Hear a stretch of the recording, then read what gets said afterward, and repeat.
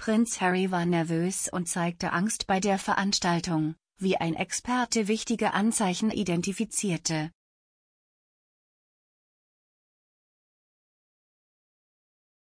Prinz Harry führte Angstrituale durch, bevor er seine Rede bei der Veranstaltung hielt, so ein Experte für Körpersprache.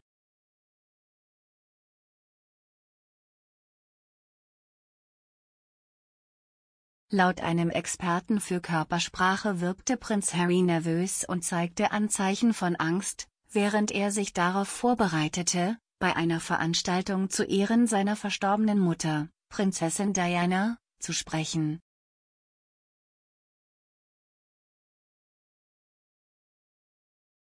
Der Herzog von Sussex erschien am Montag bei den Diana Awards in New York auf der Bühne, einer Wohltätigkeitsorganisation, die junge Menschen auszeichnet, die positive soziale Veränderungen bewirken.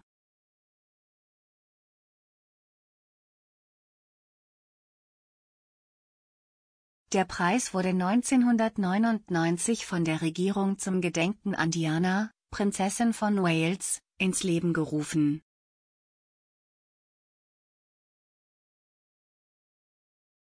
Der Prinz erschien neben zwei Preisträgern auf der Bühne, um eine Rede über psychische Gesundheit und Klima zu halten.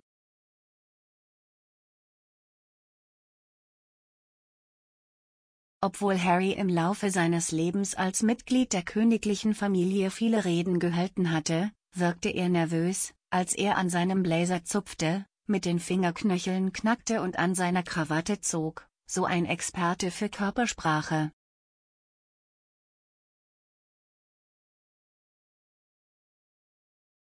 Judy James sagte, diese Gesten seien sichere Zeichen von Nervosität und Angst, aber er sei sich dieser Signale vielleicht bewusst gewesen.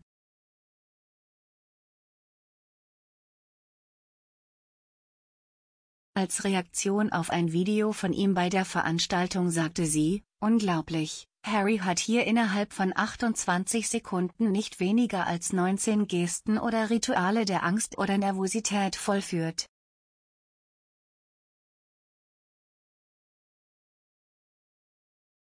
Er ist als nervöser Redner bekannt, aber er hat selten, wenn überhaupt, so viele konzentrierte Signale gezeigt, und die Tatsache, dass er sie auf der Bühne und nicht privat abseits der Bühne macht, lässt die Körpersprache nur noch merkwürdiger erscheinen, fast so, als ob er glücklich oder zufrieden damit wäre, eine Botschaft innerer Angst zu vermitteln.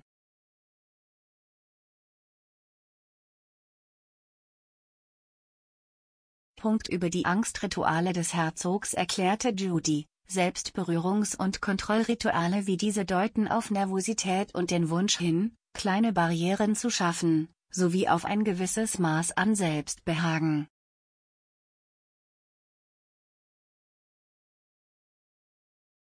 Harry steckt sein Jackett in die Hosen, während er sitzt, bevor er seine Krawatte zurechtrückt, was beides übliche Vorgehensweisen wären.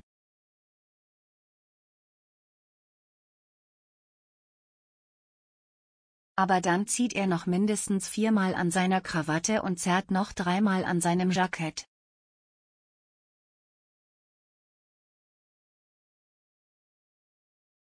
Er hüpft auch auf seinem Stuhl, reibt seine Knie mit beiden Händen, windet sich auf seinem Sitz, vollführt zwei Beinbewegungen und beendet das Ganze, indem er seine Finger verschränkt, um seine Knöchel knacken zu lassen, seine Daumen aneinander reibt und sie dann auf seinen Mund reibt.